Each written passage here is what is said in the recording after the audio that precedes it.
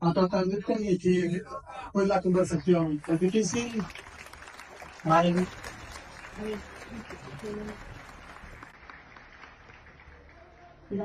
Ándalo.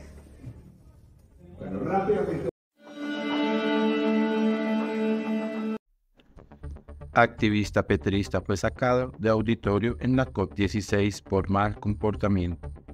Hecho quedó registrado en video.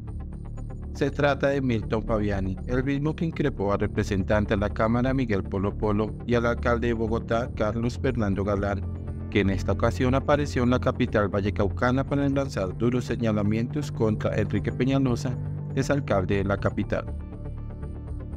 En un nuevo episodio en su ya larga lista de hechos por los que ha sido noticia en las redes sociales, Milton Fabiani, que se identifica en redes sociales como arroba subversivo y que se ha confesado en redes sociales como activista del gobierno del presidente de la República, Gustavo Petro, protagonizó el jueves 24 de octubre un nuevo espectáculo, en esta ocasión en uno de los eventos de la Conferencia de las Naciones Unidas sobre Biodiversidad más conocida como COP16.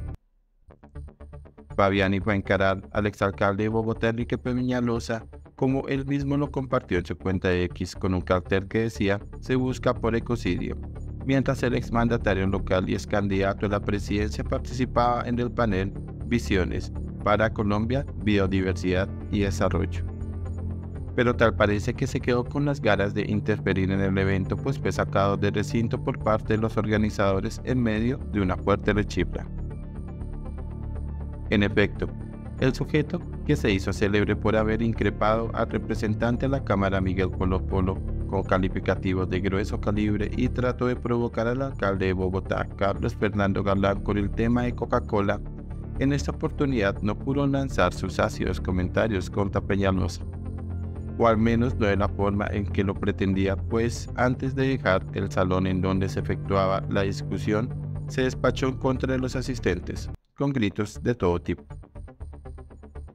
Fuera, le respondieron algunos de los asistentes y tras abandonar el recinto se escucharon al fondo aplausos.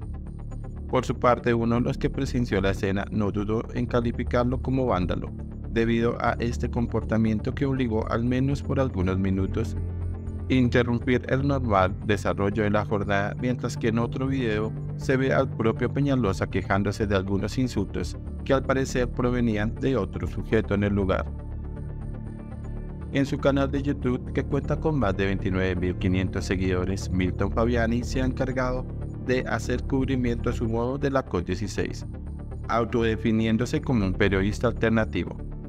De hecho, se destaca una entrevista que le hizo al alcalde de Cali, Alejandro Eder, en la que nota un comportamiento radicalmente distinto, en el que incluso tuvo un diálogo cercano, que contrasta con lo que registran los videos del intento de saboteo al evento. Milton Fabián y sus escándalos. Una de las primeras veces que se supo de este hombre fue uno de los invitados a la cumbre de medios alternativos que tuvo lugar en Armenia, Quindío. Fue cuando encaró a Polo Polo a la salida del Capitolio Nacional.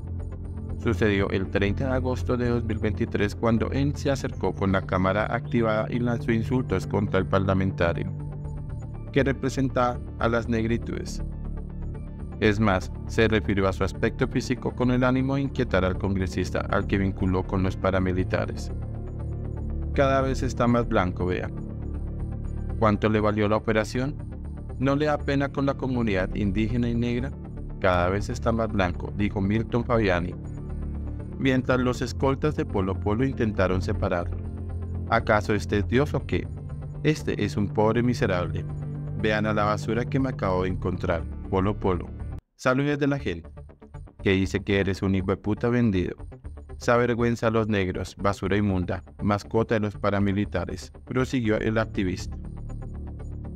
Mientras que con Galán le señaló el problema del agua en Bogotá, a lo que el burgomaestre sin perder la calma le respondió incluso cuando intentó vincularlo a la concesión de agua entregada a Coca-Cola por parte de la CAD. Eso no depende de Bogotá, sino de la calera, afirmó el alcalde que no tuvo problema en tratar de contextualizarlo con respecto a lo que pretendía insinuar el activista. que en aquella oportunidad no tuvo mayores argumentos para contrapreguntar.